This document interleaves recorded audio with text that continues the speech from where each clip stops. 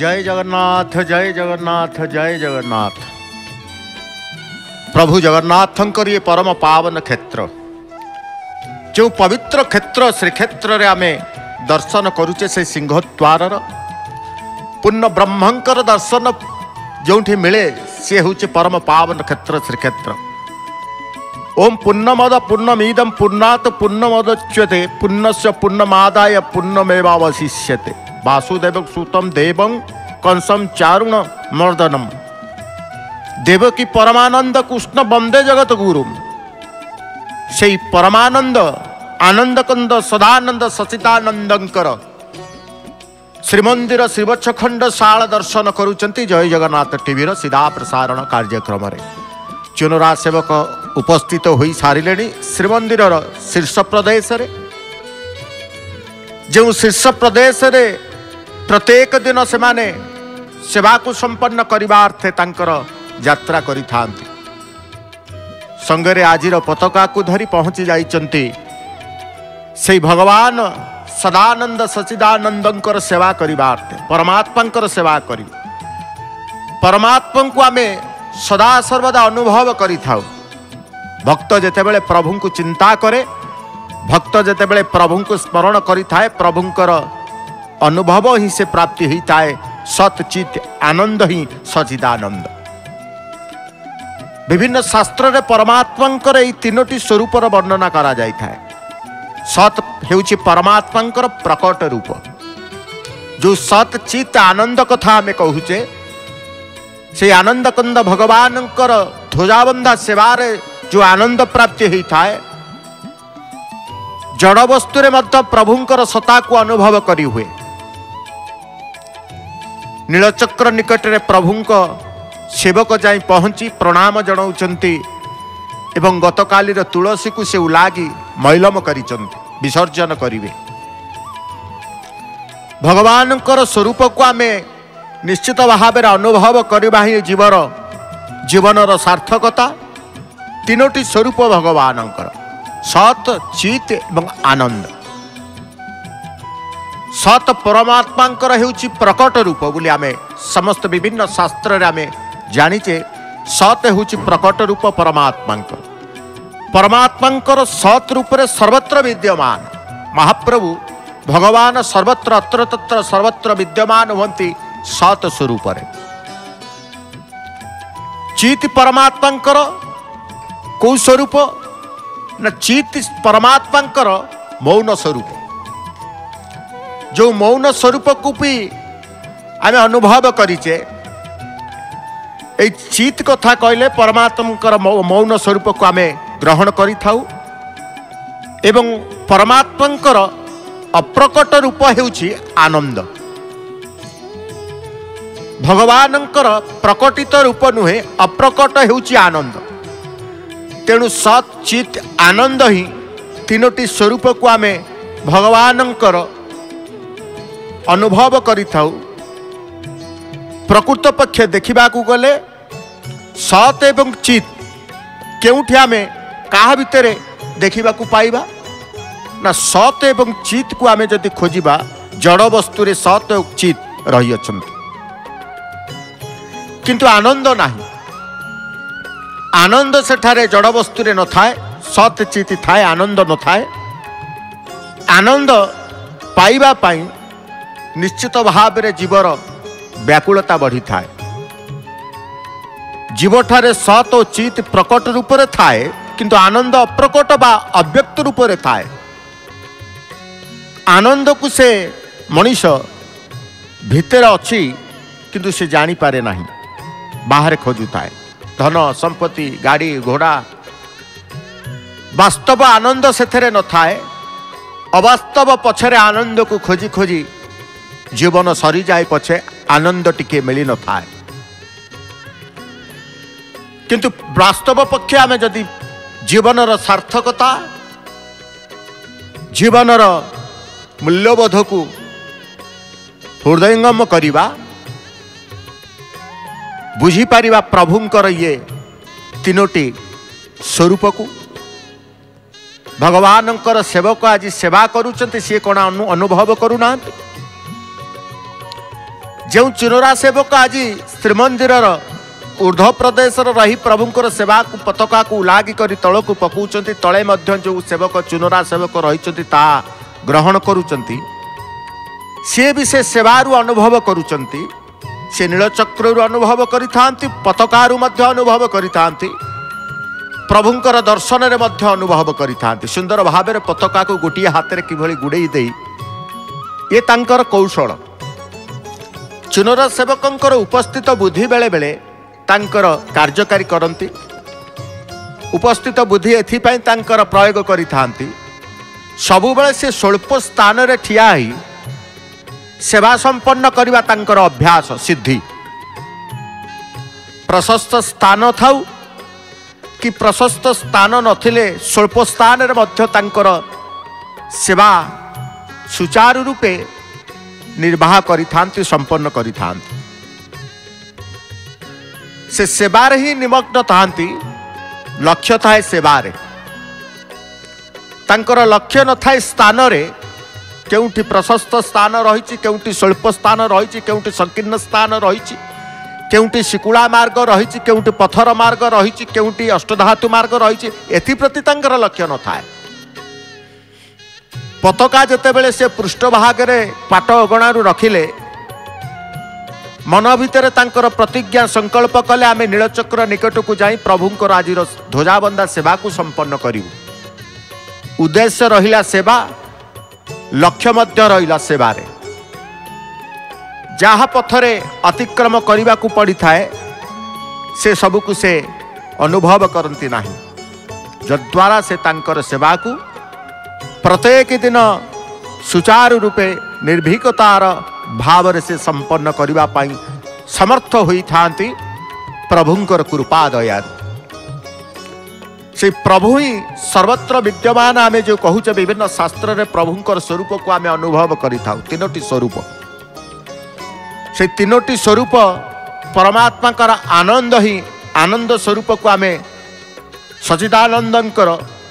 परमात्मा को नोटी स्वरूप रूप र वर्णना आमे देखाको मिथाए सत् चित जो आनन्द कथा कि परमात्मा प्रकटित रूप हिँ सत् रहे ପରମାତ୍ମାଙ୍କର ସତ୍ ରୂପରେ ସର୍ବତ୍ର ବିଦ୍ୟମାନ ରୁହନ୍ତି ପ୍ରତ୍ୟେକ ସ୍ଥାନରେ ପ୍ରଭୁ ପରମାତ୍ମା ଭଗବାନଙ୍କର ଅନୁଭବ ହିଁ ଯିଏ ଚାହେଁ ସେ କରିପାରେ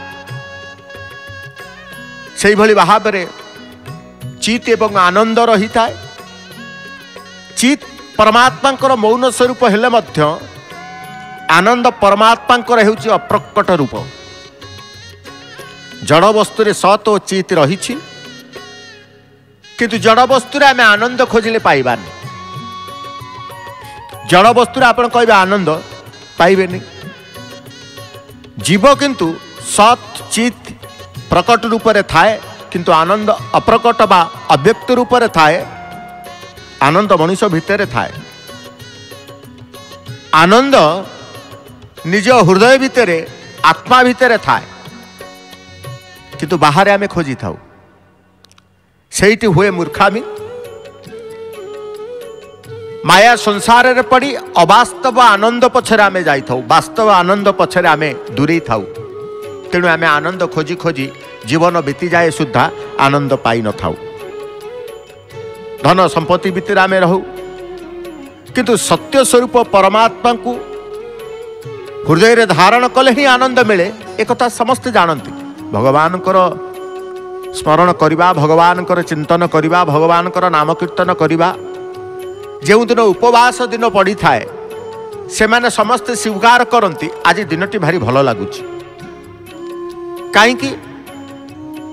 ନା ଦିନଟି କେବଳ ଯଦି ଓଷାବ୍ରତ ପାର୍ବଣ ଆସିଲା ଏକ ଲକ୍ଷ ନିଷ୍ଠାର ସହିତ ପ୍ରଭୁଙ୍କ ଉପା ଆରାଧନା ଉପାସନାରେ ରହିଥାଏ ମନ। ତେଣୁ ଦିନଟି ଭଲ ଲାଗେ। ସେଇଭଳି ନିତ୍ୟ ଅଭ୍ୟାସ କରିବା ପ୍ରଭୁଙ୍କର ନିତ୍ୟ ନିରନ୍ତର ତାଙ୍କର ପାଖରେ ରହିବା ଜୀବ ସଦାବେଳେ ପରମଙ୍କର ପାଖରେ ରହିବା ଏ ସାଧନା କରିବା ଆବଶ୍ୟକ ଯେଭଳି ଭକ୍ତ ଭଗବାନଙ୍କ ପାଖକୁ ଆସିବାକୁ ବ୍ୟାକୁଳତା ବଢ଼ିଥାଏ ଜୀବ ପରମଙ୍କ ପାଖକୁ ଆସିଥାଏ ଆତ୍ମା ପରମାତ୍ମାଙ୍କ ପାଖକୁ ଆସିଥାଏ କାରଣ ପରମାତ୍ମାଙ୍କର ଅଙ୍ଗ ଆତ୍ମା। ପରମଙ୍କର ସହିତ ଜୀବର ସମ୍ପର୍କ ଭଗବାନଙ୍କ ସହିତ ଭକ୍ତଙ୍କ ସମ୍ପର୍କ ଭକ୍ତଙ୍କ ସହିତ ଭଗବାନଙ୍କର ସମ୍ପର୍କ ଅତୁଟ ସମ୍ପର୍କ କେଉଁ ଯୁଗ ଯୁଗ ଧରି ରହି ଆସିଛି ସେଇ ସମ୍ପର୍କକୁ ନେଇ ଅନୁଭବ କରିଥାଏ ଜୀବ ଜଣେ ଚୁନରା ସେବକ ଦଧି ନୌତି ଉପରେ ଠିଆ ହେଇ ଆଜିର ମାଳାକୃତି ପତାକାକୁ ବାନ୍ଧୁଥିବା ବେଳେ ଆଉ ଜଣେ ନିମ୍ନ ଭାଗରେ ଅଁଳା ବେଢ଼ାର ଉପରି ଭାଗରେ ଠିଆ ହେଇଛନ୍ତି। ସେ ମାଳାକୃତି ପତାକାକୁ ସେ ସଜାଡ଼ିବେ। ଛନ୍ଦି ହୋଇଛି ଯେଉଁ ପତାକା। ପରସ୍ପର ପତାକା ମଧ୍ୟରେ ଗୁଡ଼େଇ ହୋଇ ରହିଛି। ସେ ପତାକାକୁ ସବୁ ସଳକ କରିବାର ତାଙ୍କର ସେବା ମଧ୍ୟ ରହିଥାଏ। କାରଣ ଇଏ ସାମୂହିକ ସେବା। ପରସ୍ପର ମଧ୍ୟରେ ସାହାଯ୍ୟର ସହାନୁଭୂତି ରହିଥାଏ।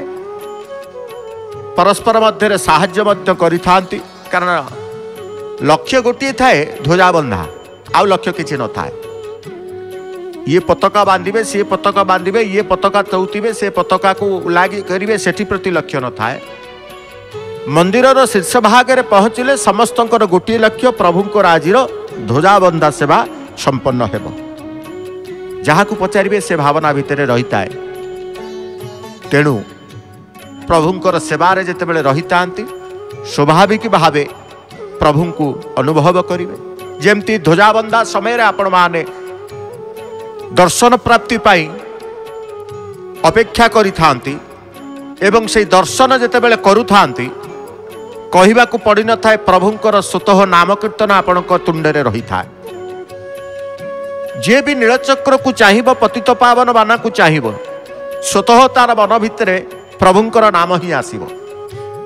ଯେବେ ବି ଆପଣ ଶ୍ରୀକ୍ଷେତ୍ର ଆସିଥାନ୍ତି ଶ୍ରୀକ୍ଷେତ୍ର ପହଞ୍ଚି ନଥାନ୍ତି ବହୁ ଦୂରରୁ ଦୃଶ୍ୟମାନ ହୁଅନ୍ତି ନୀଳଚକ୍ର ପତିତ ପାବନ ଯେଉଁଠି ଦୃଶ୍ୟମାନ ହେଲେ ନୀଳଚକ୍ର ପତିତ ପାବନ ସେଠି ତୁଣ୍ଡରେ ଆସିଯାଏ ଜୟ ଜଗନ୍ନାଥ ଜୟ ଜଗନ୍ନାଥ ଜୟ ଜଗନ୍ନାଥ ସ୍ୱାମୀ ନୟନ ପଥଗାମୀ ଭବ ତୁମେ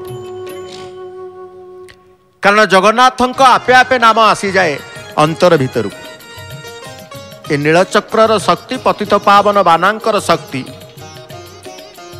ଏଭଳି ଭାବରେ ରହିଥାଏ ସମସ୍ତଙ୍କ ତୁଣ୍ଡରେ ଉଚ୍ଚାରଣ ପୂର୍ବକ ସମସ୍ତେ ସମର୍ପିତ ହୋଇଥାନ୍ତି ପ୍ରଭୁଙ୍କ ନିକଟରେ ଭଗବାନ ସେଇ ପରମାତ୍ମାଙ୍କ ନିକଟରେ ଜୟ ଜଗନ୍ନାଥ କାରଣ ପ୍ରତ୍ୟେକ ଜୀବର ଜୟ ଜଗନ୍ନାଥ କିଭଳି ଭାବରେ ଆନନ୍ଦ ପ୍ରାପ୍ତି ହେବ ମୋକ୍ଷ ପ୍ରାପ୍ତି ହେବ ମୁକ୍ତି ପ୍ରାପ୍ତି ହେବ ଏ ଲକ୍ଷ୍ୟ ଥାଏ ଜଗନ୍ନାଥ ସିଂହଦ୍ୱାରର ସମ୍ମୁଖ ଭାଗର ଭକ୍ତଙ୍କର ସମାଗମର ଦୃଶ୍ୟ ଆପଣ ଦେଖୁଛନ୍ତି ଜଗନ୍ନାଥ ସ୍ୱାମୀ କେ ପ୍ରତ୍ୟେକ ମନରେ ঘরু আসিবা বেড়ে দুঃখ থাকে কিন্তু পৌঁছি যাই ভক্ত সম্মিলনীরে ভক্ত সমাগমরে নীলচক্রকু চাইদেলে তাঁর অন্তর ভিতরে দুঃখ কণ সি পাশরি যাই মুহরে টিকে হস আসি যাই এথিপাই হস আসি যাই সে বাস্তব আনন্দ পাখে পৌঁছি যাতে মিছ মায়া সংসারু সে দূরেই যাতে ଏବଂ ମିଛ ମାୟା ସଂସାରରୁ ଦୂରେଇ ଦିଅନ୍ତି କିଏ ନା ପ୍ରଭୁ କାହା ଦ୍ୱାରା ନୀଳଚକ୍ର ପତିତ ପାବନ ବାନାଙ୍କ ଦ୍ୱାରା ଏହି ପତିତ ପାବନ ବାନା ଯେଉଁ ଦର୍ଶନ କରୁଛନ୍ତି ଫର ଫର ହେଇ ଉଡ଼ୁଅଛନ୍ତି ହଳଦିଆ ରଙ୍ଗର ଲାଲି ରଙ୍ଗର ଏ ପତାକାର ଏଭଳି ଏକ ଶକ୍ତି ରହିଅଛନ୍ତି ଏ ପତାକାର ଦର୍ଶନ କଲା ମାତ୍ରକେ ମିଛ ମାୟା ସଂସାରରୁ ଆପଣ ବିଯୁକ୍ତ ହୋଇଯିବେ।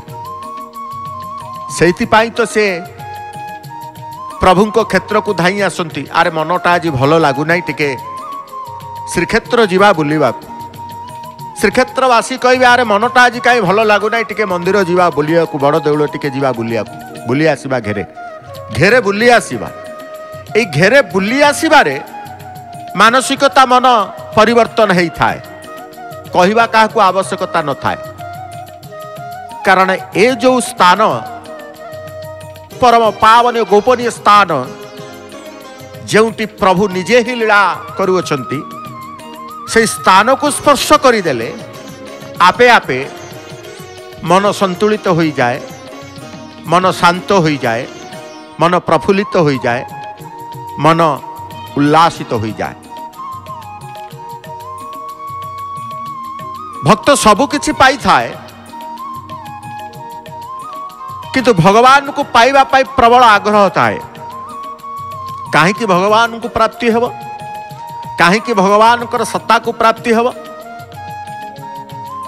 ना गोटे मार्ग भगवान कर जो आध्यात्मिक मार्ग आम देखुचे, से आध्यात्मिक मार्ग में मनीष जाणी परम आनंद मिली है जो सत चित आनंद ईश्वर ठारे ପୂର୍ଣ୍ଣ ମାତ୍ରାରେ ରହିଛି ସେ ହେଉଛନ୍ତି ପରିପୂର୍ଣ୍ଣ ସତ୍ ପରିପୂର୍ଣ୍ଣ ଚିତ୍ ପରିପୂର୍ଣ୍ଣ ଆନନ୍ଦ। ଈଶ୍ୱରଙ୍କର ବିନା ଏ ସଂସାର ଅପୂର୍ଣ୍ଣ ବୋଲି ଆମେ ସ୍ୱୀକାର କରିଛୁ। ଈଶ୍ୱରଙ୍କ ବିନା ଏ ସଂସାର ତାଙ୍କର ଇଏ ସୃଷ୍ଟି ସଂସାରକୁ ସୃଷ୍ଟି କରୁଛନ୍ତି ତାଙ୍କ ବିନା ଏ ସଂସାର ଅପୂର୍ଣ୍ଣ। ଈଶ୍ୱରଙ୍କର ଅଂଶ କିଏ? ନା ଏ ଜୀବ। ଈଶ୍ୱରଙ୍କର ଅଂଶ ଜୀବ ମଧ୍ୟ ଅପୂର୍ଣ୍ଣ। ଜୀବଠାରେ ଚିତ୍ ଅଂଶ ଅଛି କିନ୍ତୁ ତା ପରିପୂର୍ଣ୍ଣ ନୁହଁ। ମନୁଷ୍ୟର ଜ୍ଞାନ ଅଛି କିନ୍ତୁ ତା ପରିପୂର୍ଣ୍ଣ ନୁହଁ। ଈଶ୍ୱର ପରିପୂର୍ଣ୍ଣ ଜ୍ଞାନୀ ଚିତ୍ ହିଁ ଜ୍ଞାନ ଚିତ୍ ହିଁ ଶକ୍ତି ଜ୍ଞାନ ଶକ୍ତି। ତେଣୁ ଭଗବାନଙ୍କର ଗୋଟିଏ ଅବତାର ଦ୍ୱାପର ଯୁଗକୁ ଯେତେବେଳେ ଯିବେ କୃଷ୍ଣଙ୍କର ଅବତାର ଶ୍ରୀକୃଷ୍ଣ ହିଁ ପରିପୂର୍ଣ୍ଣ ଆନନ୍ଦ ସ୍ୱରୂପ। ଭଗବାନ କୃଷ୍ଣ ପରିପୂର୍ଣ୍ଣ ଆନନ୍ଦ ସ୍ୱରୂପ ଯେତେବେଳେ ସମଗ୍ର ଦ୍ୱାରକା ନାଶ ଗଲା କିନ୍ତୁ ଭଗବାନଙ୍କର ଆନନ୍ଦ ନାଶ ହେଲା ନାହିଁ। ଏ ହେଉଛି ଭଗବାନ ଭଗବାନଙ୍କର କୃଷ୍ଣଙ୍କର ଲୀଳା। ସମଗ୍ର ଦ୍ୱାରିକା ଯେତେବେଳେ ନାଶ ଯାଇଛି କିନ୍ତୁ ଭଗବାନଙ୍କ ଆନନ୍ଦ ନାଶ ହେଲା ନାହିଁ। ଉତ୍ପତ୍ତି ସ୍ଥିତି ପ୍ରଳୟ ହିଁ ଶ୍ରୀକୃଷ୍ଣଙ୍କର ଲୀଳା। ପରମାତ୍ମାଙ୍କର ସ୍ୱରୂପର କୌଣସି ପରିବର୍ତ୍ତନ ହୁଏ ନାହିଁ। ଭଗବାନଙ୍କର କୌଣସି ପରିବର୍ତ୍ତନ ହୁଏ ନା ମଣିଷ ପରିବର୍ତ୍ତନ ହେଇଯିବ। ଆମର ସ୍ୱାର୍ଥରେ ଯଦି ଆଞ୍ଚ ଆସିଲା ସ୍ୱାର୍ଥ ପରିପୂର୍ଣ୍ଣ ହେଲା ନାହିଁ ଦେବତାକୁ ବି ଆମେ ମାନିବା ନାହିଁ। ନାଇଁ ଏତେ ଥର ଗଲିଣି କେତେ ଥର କହିଲିଣି କ'ଣ ଦେବତାଙ୍କୁ ଲାଇନ୍କି ଯିବି? ଦେବତାଙ୍କୁ କହିବି କିଏ ଶୁଣୁଛି ଆମ କଥା? ଭାଗ୍ୟକୁ ନିନ୍ଦା ଦେବେ। ଆମ ଭାଗ୍ୟରେ ଯାହା ଅଛି ଆମେ ଭୋଗିବୁ। କୃତକର୍ମ ଫଳ ଆମେ ଭୋଗିବାକୁ ହବ। ମଣିଷ ସେତେବେଳେ ସତ କହିଥାଏ। କିନ୍ତୁ ମିଥ୍ୟା ଦୋଷାରୋପ କରିଥାଏ ଭଗବାନଙ୍କ ଉପରେ। ভগবান শুণবেনি যদি শুণব কি ভগবান করবেনি যদি করব কি এমিতি কিছু কৌশি কাজ নাই যা ভগবান অসম্ভব কেবল হুয়ে না আমার কহবার ত্রুটি রহু কি আমার কৃত প্রারব্ধ কর্মর ফল ভোগা হো যা বি হলে কারণ কর্মফল নিশ্চিত ভোগা হব ଆୟୁଷ ନଥିବ କୃତକର୍ମ ପ୍ରାରବ୍ଧ କର୍ମ ଏ ଜନ୍ମରେ ଆପଣ ଭୋଗ କରିନାହାନ୍ତି ହରିନାମ ସତ୍ୟ ହେଇଗଲେ ପୁନର୍ଜନ୍ମ ଯାହା ପାଇବେ ସେ କର୍ମ ଫଳ ଭୋଗିବାକୁ ପଡ଼ିବ। ଫଳ କେବେ ଭୋଗିବାକୁ ପଡ଼େ ନାହିଁ ବୋଲି କେହି ଜାଣିନାହାନ୍ତି। ଏ ଜନ୍ମରେ ନହେଲେ ବି ଆର ଜନ୍ମରେ ହିଁ ଭୋଗ କରିବାକୁ ପଡ଼ିବ। କିନ୍ତୁ ଯେତେବେଳେ ପ୍ରଭୁଙ୍କ ପରମାତ୍ମାଙ୍କର କଥା ଚିନ୍ତା କରିବେ ପରମାତ୍ମା କେବେ ପରିବର୍ତ୍ତନ ହୁଅନ୍ତି ନାହିଁ। ପରମାତ୍ମାଙ୍କର ସ୍ୱରୂପ କୌଣସି ପ୍ରକାର ପରିବର୍ତ୍ତନ ହୁଏ ନାହିଁ। ସୃଷ୍ଟି ସ୍ଥିତି ପ୍ରଳୟରେ ପରମାତ୍ମା ନିଜ ସ୍ୱରୂପର କୌଣସି ପରିବର୍ତ୍ତନ ହୁଏ ନାହିଁ। ଯେଉଁ ସୃଷ୍ଟି କଥା ସ୍ଥିତି କଥା ପ୍ରଳୟରେ ପରମାତ୍ମାଙ୍କର ନିଜ ସ୍ୱରୂପରେ ସ୍ଥିତି ହିଁ ଥାନ୍ତି ବସିଗଲେ ଚୁନୁରା ସେବକ। ଆନନ୍ଦ ସେ ପାଇଯାଇଛନ୍ତି। ଯେତିକି ସମୟ ଯେଉଁଦିନ ତାଙ୍କର ପ୍ରଭୁଙ୍କ ସହିତ ସମ୍ବନ୍ଧ ଭକ୍ତିର ସମ୍ପର୍କ ସେବାର ସମ୍ପର୍କ ଯେତେ ମୁହୂର୍ତ୍ତ ପର୍ଯ୍ୟନ୍ତ ଥାଏ ସେଇ ଅନୁଭବ କରନ୍ତି ପରମାତ୍ମାଙ୍କର ସେଇ ଆନନ୍ଦକୁ। ଆସୁଛନ୍ତି ଶିକୁଳା ମାର୍ଗରେ। ସେ ଚିନ୍ତା କରିନଥିବେ ଆମେ ଶିକୁଳା ମାର୍ଗରେ ଆସୁଛୁ। ଯୋଉଠି ଚିନ୍ତା କରିବେ ତାଙ୍କ ମନ ଭିତରେ ଭୟ ଗ୍ରାସିଯିବ। ଏସବୁ ପ୍ରଭୁଙ୍କର ଲୀଳା ସେ ଚିନ୍ତା କରନ୍ତିନି ଆମେ ରାସ୍ତା ମାର୍ଗ ନଥାଇ ଆମେ ମନ୍ଦିରକୁ ଚଢୁଛୁ ସେ ଚିନ୍ତା କରନ୍ତିନି କାରଣ ଚିନ୍ତା କରିବା ପାଇଁ ସେ ପ୍ରଭୁଙ୍କୁ ସମର୍ପି ଦେଇଥାନ୍ତି। ସିଏ ବି କୁହନ୍ତି ଯେଉଁ ପ୍ରତ୍ୟାବର୍ତ୍ତନ କରୁଛନ୍ତି ସେବାକୁ ତାଙ୍କର ଆଜିର ମାଳାକୃତି ପତାକା ତାଙ୍କର ଯେତିକି ସେବା ଥିଲା ଜଣେ ଓହ୍ଲାଇଲା ଭିତରେ ପ୍ରତ୍ୟାବର୍ତ୍ତନ କଲା ଭିତରେ ଆଉ ଜଣେ ଗରୁଡ଼ଙ୍କ ପାଖରେ ପ୍ରଣାମ କରି ଶିକୁଳା ମାର୍ଗକୁ ଚଢ଼ିବା ପାଇଁ ଆଗବର ହେଉଛନ୍ତି ଏବଂ କୁମୁଦ ହନୁମାନଙ୍କ ପାଖରେ ଆଉ ଜଣେ କର୍ପୂର ଆଳତୀର ପ୍ରସ୍ତୁତି ପର୍ବରେ ଲାଗିଛନ୍ତି। ସମସ୍ତେ ସମସ୍ତଙ୍କର ସେବାରେ ଯେଭଳି ଭାବରେ ସତେ ଯେମିତି ବଣ୍ଟା ଯାଇଛି କେହି କାହାକୁ ବାଣ୍ଟନ୍ତି ନାହିଁ। କେହି କାହାକୁ ସେବା କୁହନ୍ତି ନାହିଁ। ସ୍ୱତଃ ତାଙ୍କର ମନ ଭିତରେ କିଏ କ'ଣ ସେବା କରିବ ସ୍ୱତଃ ତାଙ୍କର ଆଗ୍ରହ ହାତ ଚାଲି ଯାଇଥାଏ ତେଣୁ ସେଇ ଶିକୁଳା ମାର୍ଗରେ ସେ ଗୋଟିଏ ପାଦ ରଖି ଆଉ ଗୋଟିଏ ହାତ ତାଙ୍କର ଟାଣି ଅତ୍ୟନ୍ତ ସତର୍କତାର ସହିତ ତାଙ୍କର ଅଁଳା ବେଢ଼ାକୁ ଅତିକ୍ରମ କରିଥାନ୍ତି। ଯେଉଁ ସ୍ଥାନକୁ ସେ ଅତିକ୍ରମ କରୁଛନ୍ତି ଅଁଳା ବେଢ଼ା ବୋଲି କୁହାଯାଏ। ଅଁଳା ବେଢ଼ା ଖପୁରିଆ ଦଧି ନୌତି ମନ୍ଦିରର ବିଭିନ୍ନ ଅଂଶର ନାମ ଶିଳ୍ପଶାସ୍ତ୍ର ଅନୁମୋଦିତ ଶିଳ୍ପଶାସ୍ତ୍ର ଅନୁଯାୟୀ ତାଙ୍କର ନାମକରଣ ରହିଥାଏ। ଯେମିତି ମଣିଷର ପ୍ରତ୍ୟେକ ଅଙ୍ଗ ପ୍ରତ୍ୟଙ୍ଗ ସେମିତି ମନ୍ଦିରର ଅଙ୍ଗ ବିଭିନ୍ନ ଭିନ୍ନ ନାମ ରହିଥାଏ। ହନୁମାନଙ୍କ ପାଖରେ କୁମୁଦ ହନୁମାନଙ୍କ ପାଖରେ ପ୍ରଭୁଙ୍କର ଯାହା ଗତକାଲିର ଫୁଲ ତୁଳସୀ ଲାଗି କରିଥିଲେ ଏହି ଚୁନୁରା ସେବକ ତାହା ମୈଲମ କରି ବିସର୍ଜନ ପୂର୍ବକ ଆଜିର କିଛି ତୁଳସୀ ଆଜିର ସୁଗନ୍ଧ ପୁଷ୍ପ ହନୁମାନଙ୍କୁ ପ୍ରଦାନ କରନ୍ତି। କର୍ପୂର ଆଳତୀ ସମ୍ପନ୍ନ କରନ୍ତି। ତତପରେ ସେ ତାଙ୍କର ନୀଳଚକ୍ର ନିକଟକୁ ଯିବେ। ଅଗ୍ନି ସଂଯୋଗ କଲେ କର୍ପୂରରେ। ଆଳତୀକୁ ତାଙ୍କର ଆପାଦ ମସ୍ତକ ହନୁମାନଙ୍କର ସମ୍ମୁଖ ଭାଗରେ ରହି ସମ୍ପୂର୍ଣ୍ଣ ରୂପେ କର୍ପୂର ଆଳତୀରେ ବନ୍ଦାପନା କରିଥାନ୍ତି। ଯାହାକୁ କୁହାଯାଏ କର୍ପୂର ଆଳତୀ ବନ୍ଦାପନା ବା କର୍ପୂର ଆଳତୀ। ଏପଟେ ଆଉ ଜଣେ ଚୁନରା ସେବକ ଆଣ୍ଠୁମାଡ଼ି ବିମଳାଙ୍କୁ ପ୍ରଣାମ କରିବା ପରେ ନୀଳଚକ୍ର ନିକଟକୁ ଅଗ୍ରସର ହେବେ। ଇତିମଧ୍ୟରେ ଯେ ଆଳତୀର ଦର୍ଶନ ଯେତେବେଳେ ଭକ୍ତଙ୍କର ଦୃଷ୍ଟିଗୋଚର ହେଇଥାଏ ସମସ୍ତଙ୍କ ତୁଣ୍ଡରେ ସେ ପ୍ରଭୁଙ୍କର ନାମକୀର୍ତ୍ତନ ସହିତ ହରିବୋଲ ହୁଳହୁଳି ପ୍ରଦାନ କରିଥାନ୍ତି। ଏକ ଆଧ୍ୟାତ୍ମିକ ପରିବେଶ ସୃଷ୍ଟି ହୁଏ ଶ୍ରୀକ୍ଷେତ୍ର ସିଂହଦ୍ୱାର ସମ୍ମୁଖ ଶ୍ରୀମନ୍ଦିର ଭିତରେ। ଆପଣମାନେ ଶବ୍ଦ ଗ୍ରହଣ କରିପାରୁନଥିବେ ଦୃଶ୍ୟକୁ ଦେଖୁଥିବେ। ସେ ଦୃଶ୍ୟ ହିଁ ଏକ ମନୋଭାବ ଭିତରେ ଭାବନା ଭିତରେ ଆଧ୍ୟାତ୍ମିକ ଭାବ ଜାଗ୍ରତ କରିଥାନ୍ତି ଯେତେବେଳେ ମନ ଏବଂ ଆତ୍ମା ପରମାତ୍ମାଙ୍କର ଅନୁଭବ କରିଥାଏ ସେତେବେଳେ ଜୀବ ଆନନ୍ଦ ପାଇଥାଏ। ଚୁନରା ସେବକ ତାଙ୍କର ଆଜିର ପତାକା ସହ ଶିକୁଳା ମାର୍ଗରେ ସିଏ ବି ଚାଲିଲେ ନୀଳଚକ୍ର ନିକଟକୁ। ପାଦ ତାଙ୍କର କଥା କହେ ହାତ ତାଙ୍କର କଥା କହେ ସେ ଶିକୁଳାରେ। ଏ ଶିକୁଳା ଲୋହ ଲୁହାର ଶିକୁଳାକୁ ଧରି ପ୍ରତ୍ୟେକ ଦିନ ଏ ଅଭ୍ୟାସ ତାଙ୍କ ହାତ ମଧ୍ୟ ସେଇଭଳି ଭାବରେ ଶକ୍ତ ହୋଇଯାଏ। ମନ୍ଦିର ଚଢ଼ିବାର ଯେଉଁ ପ୍ରତ୍ୟେକ ଦିନ ସାଧନା ତାଙ୍କର ପାଦ ମଧ୍ୟ ଶକ୍ତ ହୋଇଥାଏ। କାରଣ ଇଏ ନିତ୍ୟ ତିନିଶହ ପଞ୍ଚଷଠି ଦିନ ଏମାନେ ମନ୍ଦିରକୁ ଚଢ଼ିଥାନ୍ତି ଉର୍ଦ୍ଧ୍ୱ ଭାଗକୁ ଆସିଥାନ୍ତି। ସେବା ସମ୍ପନ୍ନ କରି ପୁନଶ୍ଚ ତାଙ୍କର ଯଥାସ୍ଥାନକୁ ପ୍ରତ୍ୟାବର୍ତ୍ତନ କରିଥାନ୍ତି। ଆଜି ଦେଖୁଛନ୍ତି ଆଜି ପ୍ରଥମେ ଦୁଇ ଜଣ ସେବକ ଆସିଥିଲେ। ମାଳାକୃତି ପତାକା ଉଲାଗି କରିବା ପରେ ଆଜିର ମାଳାକୃତି ପତାକା ଗୋଟିଏ ଧଳା ରଙ୍ଗର କ'ଣ ଦୃଶ୍ୟମାନ ହେଉଛନ୍ତି। ଧଳା ରଙ୍ଗ ମଝିରେ ମଝିରେ ପ୍ରଭୁ ଟିକେ ପଠେଇଥାନ୍ତି। ଧଳା ରଙ୍ଗ ଥାଏ ହଳଦିଆ ରଙ୍ଗ ଥାଏ ଲାଲି ରଙ୍ଗ ଥାଏ।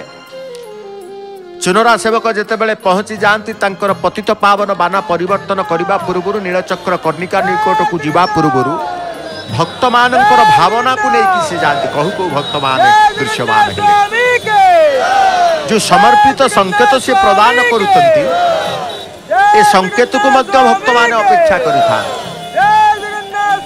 ଏ ସଙ୍କେତ ଯେଉଁ ଆସେ ଜୟ ଜୟକାର କରିବା ପ୍ରଭୁଙ୍କର ନାମ হরিবোল হুড়হুড়ি দেওয়া প্রভুঙ্ উদ্দেশ্যে কারণ ইয়ে হচ্ছে আমার পরম্পরা মাঙ্গলিক কার্য দেব কার্য যেতবে বি যেঠার অনুষ্ঠিত হয়ে থাকে শঙ্খর ধ্বনিটিয়ে হয়ে থাকে হুড়হুড়ি টিকে পড়ি থাকে হরিবোল টিকে প্রভুঙ্ নামে পড়ি থাকে সে পরিবেশ এক শান্ত বাতাবরণ সৃষ্টি করে থাকে কেবল বাতাবরণকু আধ্যাত্মিক ভাব প্রকাশ করা এ সংকেত প্রভুঙ্ নিকটর আসি থাকে କାରଣ ପ୍ରଭୁ ସକଳ ହୃଦୟରେ ରହି ନିର୍ଦ୍ଦେଶ ଦେଇଥାନ୍ତି। ପ୍ରଭୁ କାହା ଅନ୍ତର ଭିତରେ ଆସିବେ? ପ୍ରଭୁ କାହା ରୂପ ନେଇକି ଆସିବେ? କାହା ସ୍ୱରୂପ ନେଇକି ଆସିବେ? ଆପଣ ଚିନ୍ତା କରିପାରିନଥିବେ। ଆପଣ ନିଜେ କୁହନ୍ତି ମନ୍ଦିର ଭିତରେ ବୁଲିବେ ଆପଣ ଚିନ୍ତା କରିଥିବେ ଟଙ୍କ ତୋରାଣି ପିଇବାକୁ। କେହି ଜଣେ ଆପଣଙ୍କୁ ଆଣି ଟଙ୍କ ତୋରାଣି ପ୍ରଦାନ କରୁଥିବ ଆପଣ ଖୋଜୁଥିବେ। ହଠାତ୍ ଆପଣ ଆଶ୍ଚର୍ଯ୍ୟ ସ୍ତମ୍ଭୀଭୂତ ହେବେ। ଏ ଲୋକ କେମିତି ଜାଣିଲା ଏ ବ୍ରାହ୍ମଣ କେମିତି ଜାଣିଲେ ମୁଁ ଟଙ୍କ ତୋରାଣୀ ଖୋଜୁଛି ବୋଲି ଏମିତି ଅନେକ ଆପଣମାନେ ବି ମନ୍ଦିର ଭିତରେ ଅନୁଭବ ପାଇଛନ୍ତି କହିବା ଆବଶ୍ୟକତା ନାହିଁ ପ୍ରତ୍ୟେକ ଲୋକ ଏଇ ଜୀବନ୍ତ ମନ୍ଦିରକୁ ଜୀବନ୍ତ ଠାକୁରଙ୍କୁ ଦର୍ଶନ କରି ଜୀବନ୍ତ ଅନୁଭବ ପାଇଛି ଏଥିପାଇଁ ଜୀବନ୍ତ କୁହାଯାଏ ଯାହାକୁ ପଚାରିବେ ଯିଏ ଯାହା ଭାବନାରେ ଆସିଥାଏ ଶ୍ରୀମନ୍ଦିରରେ ବାହାରିବା ପୂର୍ବରୁ ତାର ଭାବନାକୁ ପରିପୂର୍ଣ୍ଣ କରିଥାନ୍ତି ପୂର୍ଣ୍ଣ ବ୍ରହ୍ମ ପୂର୍ଣ୍ଣ ବ୍ରହ୍ମ ପରିପୂର୍ଣ୍ଣ କରିଥାନ୍ତି ତାର ସେଇ ମନସ୍କାମନା ମନର ଭାବନାକୁ। ସେଇଥିପାଇଁ କୁହାଯାଏ ପୂର୍ଣ୍ଣମଦ ପୂର୍ଣ୍ଣମିଦମ ପୂର୍ଣ୍ଣାତ ପୂର୍ଣ୍ଣମୋଦଚ୍ୟତେ। ପୂର୍ଣ୍ଣସ୍ୟ ପୂର୍ଣ୍ଣମାଦାୟ ପୂର୍ଣ୍ଣମେବ ଅବଶିଷ୍ୟତେ ତେଣୁ ପ୍ରଭୁଙ୍କର ପୂର୍ଣ୍ଣ ବ୍ରହ୍ମଙ୍କର ପୂର୍ଣ୍ଣତା କରିବା ଭକ୍ତମାନଙ୍କ ପ୍ରତି ତାଙ୍କର ଇଏ ତାଙ୍କର ଧର୍ମ ତାଙ୍କର ସେ ଲୀଳା। ଯେବେ ବି ଆପଣ ଚିନ୍ତା କରିଥିବେ ଏମିତି ଅନେକ ଘଟଣା ଘଟିଛି ଆପଣମାନଙ୍କ ସହିତ। ସାଧାରଣ ତେଲୁଣ ସଂସାରରେ ଭକ୍ତମାନେ ଯିଏ ବିଶ୍ୱାସ କରୁନଥିବେ ମହାପ୍ରଭୁ ପ୍ରକୃତରେ କ'ଣ ଏମିତି ରୂପ ଦେଇକି ଆସିବେ? ଚିନ୍ତା କରିନଥିବେ ଆପଣ। କାରଣ ଆପଣ ସେତିକି ଯୋଗ୍ୟ ନୁହେଁ ଭଗବାନଙ୍କର ଦର୍ଶନ ପାଇବା ପାଇଁ। ନିଜେ ସ୍ୱୀକାର କରୁଥିବେ। କିନ୍ତୁ कृपाणु भगवान जगन्नाथ। जेड़ बड़ पापी हेले सी जदि थरुटे स्मरण कर चिंता कर प्रभु ताखे जा पहुँची जा प्रभुंर ये भल, ये मंद कि दरकार। प्रभु समस्त की आपणार कर सूर्य किरण जपरी प्रखरित सूर्य उदय समय सूर्य किरण समस्त को सी स्पर्श करें সেইভাবে ভগবান সমস্ত সে স্পর্শ করে তেণু যিয়ে বি যায় ভগবান নিকটকু, সে আনন্দ ছড়া কিছু প্রাপ্তি হয়ে নথায় যে আনন্দ সচিতানন্দঙ্কর আশ্রয় নেলে আনন্দ পাইব। কারণ আনন্দ কন্দ ভগবান হচ্ছেন ভগবান জগন্নাথ। যে সদানন্দ, সবুবেলে আনন্দ রুহতি তা দুঃখী লোক পাখু গেলে দুঃখ কথা কহব। କିନ୍ତୁ ଜଣେ ସଦାନନ୍ଦ ସୁଖୀ ଲୋକ ପାଖକୁ ଯିବେ ସଦାବେଳେ ହସୁଥିବ ସେଇଭଳି ଜଗନ୍ନାଥଙ୍କର ଦୁଃଖ କ'ଣ ନଥାଏ ଜଗନ୍ନାଥଙ୍କୁ କେହି କେବେ କାନ୍ଦିବାର ଦେଖିନାହାନ୍ତି ଜଗନ୍ନାଥ ସଦାବେଳେ ସେ ଅଧର ବିସ୍ଫାରିତ କରି ଲାଲି ଅଧରକୁ ହସିଥାନ୍ତି ସେଇ ମୁଖରେ ତାଙ୍କର ସବୁ ଆନନ୍ଦ ରଖିଥାନ୍ତି ଆଖିରେ ସବୁ ଆନନ୍ଦ ରଖିଥାନ୍ତି ଯିଏ ମାଗିଥାଏ ତାକୁ ପ୍ରଦାନ କରିଥାନ୍ତି ଯିଏ ନ ମାଗିଥାଏ ମଧ୍ୟ ତା ମନ କଥା ବୁଝି ତାକୁ ପ୍ରଦାନ କରିଥାନ୍ତି ସମସ୍ତେ ମାଗି ପାରନ୍ତି ନାହିଁ ଭଗବାନ ଏ କଥା ଜାଣିଛନ୍ତି। ତେଣୁ କୁହାଯାଏ ପ୍ରଭୁଙ୍କୁ ମାଗ ନ ମାଗ ପ୍ରଭୁ ମାଗିବା ଆଗରୁ ସେ ଦିଅନ୍ତି। ସେ ହେଉଛନ୍ତି ଜଗନ୍ନାଥ ଯେଉଁ ନାମ ଚାରି ଅକ୍ଷର। ଜଗନ୍ନାଥ ଚାରି ଅକ୍ଷର। ସେଇ ଚତୁର୍ଦ୍ଧା ମୂର୍ତ୍ତିଙ୍କର ଚତୁର୍ବର୍ଗ ପୁଣ୍ୟଫଳ ପ୍ରାପ୍ତି ଆଶା ନେଇ ଗୋଟିଏ ଜଗନ୍ନାଥଙ୍କର ନାମକୁ ଧରିବେ। ଚତୁର୍ଯୁଗର ପୁଣ୍ୟଫଳ ପ୍ରାପ୍ତି ଚତୁର୍ବର୍ଗର ପୁଣ୍ୟଫଳ ପ୍ରାପ୍ତି ହେବେ। କାରଣ ସମସ୍ତେ ଜାଣିଛନ୍ତି ଏଠି ଜଗନ୍ନାଥଙ୍କ କୁଆଡ଼େ ଯିବା ନା ଜଗନ୍ନାଥଙ୍କ ମନ୍ଦିର? ଏଠି କେବଳ ଜଗନ୍ନାଥ ପୂଜା ପାଉନାହାନ୍ତି। କେହି କୁହନ୍ତିନି କୁଆଡ଼େ ଯିବା? ବଳଭଦ୍ରଙ୍କ ମନ୍ଦିର। କୁଆଡ଼େ ଯିବା? ଜଗନ୍ ସୁଭଦ୍ରାଙ୍କର ମନ୍ଦିର। ଏଠି ବଳଭଦ୍ର ସୁଭଦ୍ରା ଉପାସନା ହେଉଥିଲେ ମଧ୍ୟ ସମସ୍ତେ କୁହନ୍ତୁ କୁଆଡ଼େ ଯିବା ଜଗନ୍ନାଥଙ୍କ ମନ୍ଦିର? କାରଣ ଜଗନ୍ନାଥଙ୍କର ନାମ ଗୋଟିଏ ନାମକୁ ଧରିଲେ ଆମେ ଚତୁର୍ଦ୍ଧା ମୂର୍ତ୍ତିଙ୍କର ପୁଣ୍ୟତା ପାଇଥାଉ। ସେଇ ଚାରି ଅକ୍ଷରରେ ଚତୁର୍ଦ୍ଧା ବିଗ୍ରହ ରହିଛନ୍ତି ଜକାରଶ୍ଚ ଜଗନ୍ନାଥ ଗକାରଶ୍ଚ ବଳଦେବ ଭଦ୍ରା ନକାର ଭାବେନ ଠକାରଶ୍ଚ ସୁଦର୍ଶନ। ଜଗନ୍ନାଥ। ତେଣୁ ଆନନ୍ଦ ସୁଖୀ ଲୋକ ପାଖକୁ ଯିବେ ଆନନ୍ଦମୟ ଠାକୁରଙ୍କ ପାଖକୁ ଯିବେ ଆନନ୍ଦ ପାଇବେ। ସଂସାରର ପ୍ରତ୍ୟେକ ପଦାର୍ଥରେ ପରିଣାମରେ କ'ଣ? ବିନାଶୀ ହୋଇଥିବାରୁ ପରିପୂର୍ଣ୍ଣ ନୁହଁ। ସଂସାର ଯେଉଁ ଆମେ ମିଛ ମାୟା ସଂସାର କହୁଛୁ ଏ ସଂସାର ପ୍ରତ୍ୟେକ ପଦାର୍ଥରେ ପରିଣାମରେ ଦେଖିବେ ବିନାଶୀ ହୋଇଥିବାରୁ ପରିପୂର୍ଣ୍ଣ ନୁହନ୍ତି ସେ। ଜୀବ ପରିପୂର୍ଣ୍ଣ ନ ହେବା ପର୍ଯ୍ୟନ୍ତ ଆନନ୍ଦ ପାଏ ଏ ଜୀବ ଯେତେବେଳେ ପରିପୂର୍ଣ୍ଣତା ଚାହିଁବ ଯେ ପର୍ଯ୍ୟନ୍ତ ପରିପୂର୍ଣ୍ଣ ନ ହେବା ପର୍ଯ୍ୟନ୍ତ ସେ ଆନନ୍ଦ ପାଏନି। ପରିପୂର୍ଣ୍ଣ ହେଲେ ହିଁ ଆନନ୍ଦ ପାଇବ। পরিপূর্ণ করব কি পূর্ণ ব্রহ্ম। শান্তি পায়েনি আনন্দ পাইবেনি কি শান্তি পাইব? যাহার মন পরমাত্মাঙ্ক সহিত তদাকার হয়ে যায়, তলীন হয়ে যায়, মিশি যায় সে হি পাই যায় ভগবানকর সে পরিপূর্ণ হয়ে যায়। তার জীবন সফল হুয়ে। তার পরম শান্তি লাভ করে। ঈশ্বর সহিত জীবর মিলনরে জীব পরিপূর্ণ হয়ে যায়। কেতবে পরিপূর্ণ হবে মুহূর্ত আসিগলা ଏହି ମୁହୂର୍ତ୍ତରେ ଜୀବ ପରମ ଭକ୍ତ ଭଗବାନ ଆତ୍ମା ପରମାତ୍ମାଙ୍କର ମିଳନ ହୁଏ ଯେତେବେଳେ କର୍ଣ୍ଣିକା ଉପରେ ଠିଆ ହୋଇ ଚୁନରା ସେବକ ତାଙ୍କର ସଂସାରର ମଙ୍ଗଳ କାମନା ଚିନ୍ତା କରି ମଙ୍ଗଳମୟଙ୍କର ପତିତ ପାବନ ବାନକୁ ପରିବର୍ତ୍ତନ କରନ୍ତି ଅନନ୍ତ ଆକାଶ ତଳେ ସ୍ୱାମୀ କେ ଦେଖନ୍ତୁ ଦେଖନ୍ତୁ ସେ ଭାବ ଗମ୍ଭୀର ସ୍ଥିତି ପରିସ୍ଥିତିକୁ ଦେଖନ୍ତୁ ଜୟ ଜଗନ୍ନାଥ ହରିବୋଲ ହୁଳ ହୁଳିରେ ପ୍ରକମ୍ପିତ ହେଉଛି କର୍ଣ୍ଣ ଗହୌର ଭିତରେ ସମସ୍ତେ ଜଗନ୍ନାଥଙ୍କର ନାମକୁ ତ୍ରାହି ତ୍ରାହି ମାମ୍ ତ୍ରାହି ମାମ୍ ଜଗନ୍ନାଥ ଜଗନ୍ନାଥ ରକ୍ଷ ମାମ୍ ଚିତ୍କାର କରୁଛନ୍ତି ଜୟ ଏ ଶବ୍ଦ କେତେବେଳେ ଶୁଣିବେ ଏ ଶବ୍ଦ ଶୁଣିବେ ଅକ୍ଷୟ ଦଣ୍ଡରେ ପତିତ ପାବନ ବାନା ପରିବର୍ତ୍ତନ ସମୟରେ ଜଗନ୍ନାଥ ପରିବର୍ତ୍ତନର ଧାରାରେ ସମସ୍ତେ ଚାହାନ୍ତି ପରିବର୍ତ୍ତନ ହେବା ପାଇଁ ସମସ୍ତେ ଚାହାନ୍ତି ପରିବର୍ତ୍ତନକୁ ସମସ୍ତେ ଅପେକ୍ଷା କରନ୍ତି ପରିବର୍ତ୍ତନକୁ ସମସ୍ତେ ଗ୍ରହଣ କରନ୍ତି ଜୟ ଜଗନ୍ନାଥ ସମୟକୁ ଅପେକ୍ଷା କରିବାକୁ ପଡ଼ିଥାଏ ଧୈର୍ଯ୍ୟ ଧରିବାକୁ ପଡ଼ିଥାଏ ସେ ଧୈର୍ଯ୍ୟର ବାର୍ତ୍ତା ଭଗବାନ ଦେଇଥାନ୍ତି। ଅକ୍ଷୟ ଦଣ୍ଡରୁ ପତିତ ପାବନ ବାନା ଉଲାଗି କରିବେ ଚୁନରା ସେବକ। ଏହି ଆତ୍ମା ଭିତରେ ତାଙ୍କର ଭଗବାନଙ୍କୁ ଅନୁଭବ କରିଥାନ୍ତି। କେଡ଼େ ପରମ ଦୟାଳୁ ଭଗବାନଙ୍କର ସେ ପତିତ ପାବନ ବାନାକୁ ଉଲାଗି ପରେ ଅକ୍ଷୟ ଦଣ୍ଡରୁ ନିଜର ଗଳାରେ ସେ ରଖିଲେ। କାରଣ ମଣିଷର ମସ୍ତିଷ୍କ ବା ଭଗବାନଙ୍କର ଯେଉଁ ପଦାର ବିନ୍ଦରେ ସମର୍ପି ଯାଏ ମୁଣ୍ଡ ମଥା ନଥ କଲେ ଶରୀର ସମର୍ପି ଯାଇଥାଏ ଆଜି ହଳଦିଆ ରଙ୍ଗର ଗୋଟେ ପତାକା ଚୁନରା ସେବକ ଅକ୍ଷୟ ଦଣ୍ଡରେ ଲାଗି କରେଇ ସାରିଲେଣି। କାଲି ଲାଗି ହୋଇଥିଲେ ଲାଲି ରଙ୍ଗର ଆଜି ହଳଦିଆ ରଙ୍ଗର କେତେବେଳେ କେଉଁ ରଙ୍ଗ ଭଗବାନ ତାଙ୍କୁ ଗ୍ରହଣ କରିବେ ବା ଭଗବାନଙ୍କର ନିର୍ଦ୍ଦେଶରେ ନୀଳଚକ୍ରକୁ ଅକ୍ଷୟ ଦଣ୍ଡକୁ ଯାଇଥାନ୍ତି। ସୁନ୍ଦର ଭାବରେ ଅକ୍ଷୟ ଦଣ୍ଡ ଅନନ୍ତ ଆକାଶକୁ ଉଠି ଆସୁଛନ୍ତି। ଚୁନରା ସେବକ ଯଥାସ୍ଥାନରେ ଅକ୍ଷୟ ଦଣ୍ଡକୁ ରଖି ପୁନର୍ବାର ରୁନ୍ଧା କାର୍ଯ୍ୟ ସମ୍ପନ୍ନ କରିବା ଭିତରେ ଏ ସମୟ ମୁହୂର୍ତ୍ତରେ ଭାବର ସମୁଦ୍ର ପ୍ରବାହିତ ହେଉଛି ସିଂହଦ୍ୱାର ସମ୍ମୁଖ ଚତୁଃପାର୍ଶ୍ୱ ଶ୍ରୀମନ୍ଦିରର ଶ୍ରୀକ୍ଷେତ୍ର ପରିବେଶକ ନିଆରା ପରିବେଶ ସୃଷ୍ଟି କରିଛି। ସମସ୍ତଙ୍କ ମନରେ ପ୍ରଭୁଙ୍କର ନାମ ସମସ୍ତ ସମସ୍ତଙ୍କ ମନରେ ପ୍ରଭୁ ଆନନ୍ଦ ଭରି ଦେଇଛନ୍ତି। ଏଠି ଆନନ୍ଦ ଆନନ୍ଦ ହିଁ ଆନନ୍ଦ ସଦାନନ୍ଦଙ୍କର ପ୍ରାପ୍ତି ସମସ୍ତ ହୋଇଥାନ୍ତି। ଏଇ ମୁହୂର୍ତ୍ତକୁ ଘଣ୍ଟା ଘଣ୍ଟା ଧରି ଅପେକ୍ଷା କରିଥାନ୍ତି କେତେବେଳେ। ପରିବର୍ତ୍ତନର ହୁଏ ସମୟ ଯେତିକି ସମୟ ଆପଣ ଦେଖିଲେ ସେଇ ପରିବର୍ତ୍ତନର ଧାରାରେ ସମସ୍ତେ ନିଜକୁ ହଜେଇ ଦେଇଥାନ୍ତି। ସମସ୍ତେ ପ୍ରାପ୍ତି ହୁଅନ୍ତି ଭଗବାନଙ୍କର ସ୍ୱରୂପକୁ। କ'ଣ ମିଳେ କ'ଣ ନ ମିଳେ ଅନୁଭବୀ ବି କହିବ। କାରଣ ପ୍ରତ୍ୟେକ ଦିନ ଆପଣ ବି ଆପଣଙ୍କର ଘରମାନଙ୍କରେ ରହି ସେ ଘରର ପରିବେଶକୁ ଏଭଳି ଭାବରେ ସୃଷ୍ଟି କରିଛନ୍ତି। ପରିବାରର ସଦସ୍ୟମାନଙ୍କ ସହିତ ବାପା ମାଙ୍କ ସହିତ ପିଲା ଛୁଆମାନଙ୍କ ସହିତ ବସି ଏ ପ୍ରଭୁଙ୍କର କୃପା ଲାଭ କରୁଛନ୍ତି। କେବଳ ପ୍ରଭୁଙ୍କର କୃପା ପ୍ରଭୁଙ୍କର ଦୟା ପ୍ରଭୁଙ୍କର ଆନନ୍ଦ ହିଁ ଆପଣ ଗ୍ରହଣ କରିଥାନ୍ତି।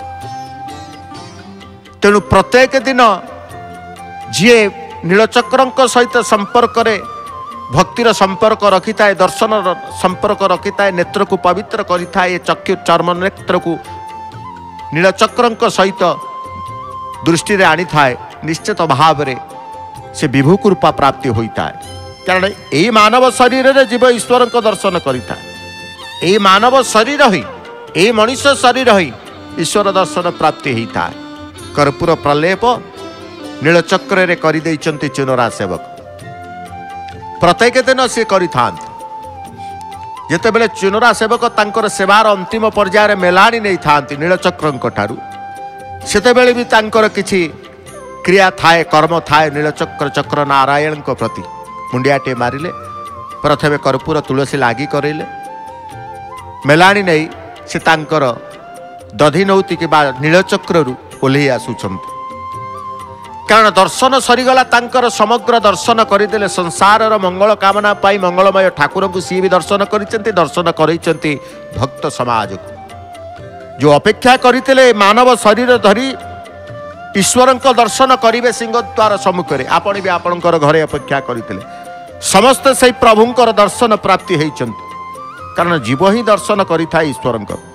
ପଶୁର ସ୍ୱରୂପ ଜ୍ଞାନ ନଥିବାରୁ ସେ ଈଶ୍ୱରଙ୍କ ଦର୍ଶନ କରିପାରେ ନାହିଁ ପଶୁ କେବେ ଈଶ୍ୱରଙ୍କ ଦର୍ଶନ କରିପାରେ ପରମାତ୍ମାଙ୍କ ଦର୍ଶନ ବିନା ଜୀବନ ସଫଳ ହୁଏ ନାହିଁ ଅନନ୍ତ ଜନ୍ମ ଧରି ଜୀବ ଭୋଗ ବିଳାସରେ ମାତିଥାଏ କିନ୍ତୁ ଆନନ୍ଦ ଶାନ୍ତି ପାଇପାରୁନଥାଏ ଯେତେବେଳେ ଜୀବ ପରମାତ୍ମାଙ୍କର ଦର୍ଶନ ପାଇଥାଏ ସେତେବେଳେ ହିଁ ଶାନ୍ତି ପାଇଥାଏ କାରଣ ପ୍ରଭୁଙ୍କୁ ଦର୍ଶନ କରିବେ ସମସ୍ତଙ୍କୁ କହନ୍ତି ପ୍ରଭୁଙ୍କର ଦର୍ଶନ କିଏ ସ୍ୱପ୍ନରେ ଦର୍ଶନ କରିଥାଏ କିଏ ସାକ୍ଷାତ ବ୍ରହ୍ମଙ୍କୁ ପରମ ବ୍ରହ୍ମଙ୍କର ବିଗ୍ରହଙ୍କୁ ଦର୍ଶନ କରିଥାଏ କିଏ ଅପରପକ୍ଷ ଦର୍ଶନ କରିଥାଏ ଅପରକ୍ଷରେ ଦର୍ଶନ କରିଥାନ୍ତି ତେଣୁ ସ୍ୱପ୍ନରେ ପ୍ରଭୁଙ୍କୁ ଦର୍ଶନ ମନ୍ଦିର ଓ ମୂର୍ତ୍ତିରେ ପ୍ରଭୁଙ୍କର ଦର୍ଶନ ପ୍ରଭୁଙ୍କ ଅପରୋକ୍ଷ ଦର୍ଶନ ଏଭଳି ପ୍ରଭୁଙ୍କର ତିନି ପ୍ରକାରର ଦର୍ଶନ ପ୍ରାପ୍ତି ହୋଇଥାଏ ଦର୍ଶନ ହିଁ ଉତ୍ତମ ଦର୍ଶନ ଅପରୋକ୍ଷ ଦର୍ଶନରେ ଯିବ ଜୀବନ ସଫଳ ହୁଏ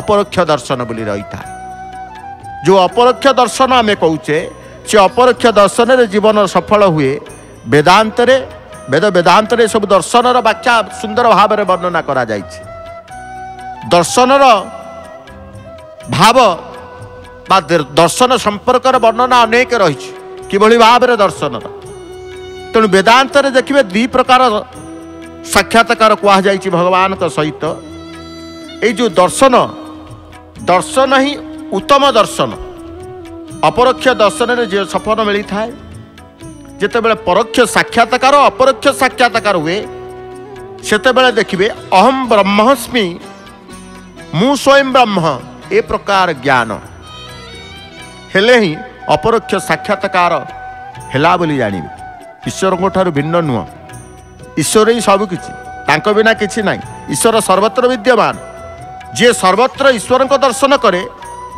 ସେ କ'ଣ ହେଇଯାଏ? ଈଶ୍ୱରମୟ ହେଇଯାଏ। ସବୁବେଳେ ଆମେ ଭଗବାନଙ୍କ ଚିନ୍ତା କରିବା। ଭଗବାନ ଆମ କଥା ଚିନ୍ତା କରିବେନି ତେଣୁ ମୁଁ ଈଶ୍ୱରଙ୍କ ଠାରୁ ଭିନ୍ନ ନୁହଁ ବୋଲି ପ୍ରଥମେ ଆପଣ ସଂକଳ୍ପ ନେବେ। ଭଗବାନଙ୍କ ଠାରୁ ମୁଁ ଭିନ୍ନ ନୁହଁ। ଈଶ୍ୱର ହିଁ ସବୁ କିଛି ତାଙ୍କ ବିନା କିଛି ନାହିଁ। ଈଶ୍ୱର ସର୍ବତ୍ର ବିଦ୍ୟମାନ। ଯିଏ ଏ କଥା ଈଶ୍ୱରଙ୍କ ଦର୍ଶନ କରି ଚିନ୍ତା କରେ ସେ ଈଶ୍ୱର ହୋଇଯାଏ ଈଶ୍ୱରମୟ ହୋଇଯାଏ। ସେ ଈଶ୍ୱରଙ୍କ ପରିପୂର୍ଣ୍ଣ ସ୍ୱରୂପ ନିଶ୍ଚିତ ଭାବରେ ଅନୁଭବ କରେ। ଈଶ୍ୱର ସର୍ବବ୍ୟାପକ ବୋଲି ଆମେ ଜାଣିଛେ। ସେ କୌଣସି ମୂର୍ତ୍ତି ବା ମନ୍ଦିରରେ ସୀମିତ ନଥାନ୍ତି ଜ୍ଞାନୀ ଗୁଣୀମାନେ କହିଥାନ୍ତି। ଜ୍ଞାନୀ ପୁରୁଷ ଈଶ୍ୱରଙ୍କୁ ସର୍ବତ୍ର ଦର୍ଶନ କରିଥାନ୍ତି। ମନ ଯେଉଁଠିକି ଯାଏ ସେଠାରେ ଈଶ୍ୱରଙ୍କର ଦର୍ଶନ ହେଲେ ସେ ଦର୍ଶନ ହୁଏ ଅସାଧାରଣ ଦର୍ଶନ। ସାଧାରଣ ଦର୍ଶନ ଅସାଧାରଣ ଦର୍ଶନ। ଯିଏ ସର୍ବତ୍ର ବ୍ରହ୍ମ ଦର୍ଶନ କରେ ସେ ହିଁ ଜ୍ଞାନୀ। ସମସ୍ତଙ୍କ ଭିତରେ ପରମାତ୍ମାଙ୍କର ଦର୍ଶନ କରି ଯିଏ ନିଜ ଭିତରେ ପରମାତ୍ମାଙ୍କର ଦର୍ଶନ କରେ ସିଏ ହିଁ ଜ୍ଞାନୀ। ଜ୍ଞାନୀ ପୁରୁଷ ନିଜ ସ୍ୱରୂପରେ ପରମାତ୍ମାଙ୍କର ଦର୍ଶନ କରିଥାଏ। ସୁନ୍ଦର ଭାବରେ ଆଜି ପରମାତ୍ମାଙ୍କର ଦର୍ଶନ ଲାଭ କରିଛନ୍ତି। ଆପଣମାନେ ପରମାତ୍ମାଙ୍କର ଦର୍ଶନ ଲାଭ କରିଛନ୍ତି ଚୁନରା ସେବକ। অতি আনন্দরে যাইলে অতি আনন্দরে প্রত্যাবর্তন করুছেন আনন্দ চিত্তরে সে প্রত্যাবর্তন করুছেন মন ভিতরে যেতবে সেবা যে করা যায়, মন ভিতরে কষ্ট দুঃখ নথায় যে সেবা করিকি আসে, মন ভিতরে তার দুঃখ কষ্ট নথায় অর্থাৎ, প্রভুঙ্ক পাখে যেতবে যা আপে আপে দুঃখ চালি যাই প্রভুঙ্ক পাখর ফেরিলে ସୁଖ ତ ପ୍ରାପ୍ତି ଆନନ୍ଦ ପ୍ରାପ୍ତି ହେଇକି ଆସିଥିବା ଦୁଃଖ ରହିବ କୁଆଡ଼େ ଦୁଃଖ ଯଦି ନଥାଏ ସୁଖ ନିଶ୍ଚିତ ଭାବରେ ରହିଛି। ଜଣକ ପରେ ଜଣେ ସୁନ୍ଦର ଭାବରେ ତାଙ୍କର ପ୍ରତ୍ୟାବର୍ତ୍ତନ କରି ଆସୁଛନ୍ତି ତିନି ଜଣ ଚିନୁରା ସେବକ। ଆଜିର ଧ୍ୱଜାବନ୍ଧା ସେବାକୁ ଅତି ଆନନ୍ଦର ସହକାରେ ସଯତ୍ନ ସହକାରେ ପ୍ରଭୁଙ୍କର ସମ୍ପନ୍ନ କରି ପୁନଶ୍ଚ ସେ ତାଙ୍କର ପାଟ ଅଗଣାକୁ ପ୍ରତ୍ୟାବର୍ତ୍ତନ କରି ଆସୁଛନ୍ତି ଗୋଟିକ ପରେ ଗୋଟିଏ ଭୂମିକୁ ଅତିକ୍ରମ କରି। ତିନି ଜଣ ଚୁନରା ସେବକ ସେ ପ୍ରତ୍ୟାବର୍ତ୍ତନ କରି ପହଞ୍ଚିଯିବେ ଘଣ୍ଟି ଦ୍ୱାର। ଘଣ୍ଟି ଦ୍ୱାରରୁ ପ୍ରତ୍ୟାବର୍ତ୍ତନ କରି ପାଟ ଅଗଣା। ଭକ୍ତବନ୍ଧୁ ଆମେ ଦର୍ଶନ କଲେ ଭଗବାନଙ୍କର ଧ୍ୱଜାବନ୍ଧା ଦର୍ଶନ। ଏବେ ଆସନ୍ତୁ ପରମଶାସ୍ତ୍ର ଭାଗବତକୁ ଶ୍ରବଣ କରିବା। ବାର ସ୍କନ୍ଦ ତୃତୀୟ ଅଧ୍ୟାୟ କଣ୍ଠଦାନ କରିଛନ୍ତି ଓଡ଼ିଶାର ସୁନାମଧନ୍ୟା ସୁଗାୟିକା ଶ୍ରୀମତୀ ନମିତା ଅଗ୍ରୱାଲ ମା ତାଙ୍କରି କଣ୍ଠରେ ପରମଶାସ୍ତ୍ର ଭାଗବତକୁ ଶ୍ରବଣ ପୂର୍ବକ ମହାକାର୍ତ୍ତିକର